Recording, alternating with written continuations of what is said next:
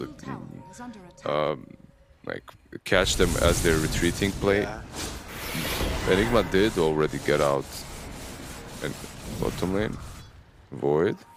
Monet just jump There's no way right he back dies here, down. right? There is another Abyssal in a couple of seconds. Monet can kind of keep chaps on him.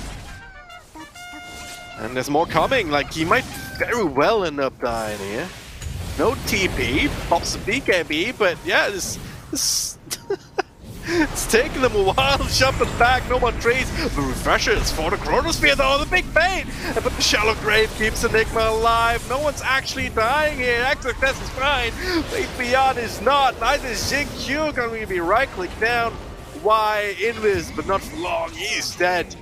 And it's looking more and more like Aster might be able to take this game. Three heroes on the sidelines, no Chronosphere, the still of ages and chasing everyone alive and kicking.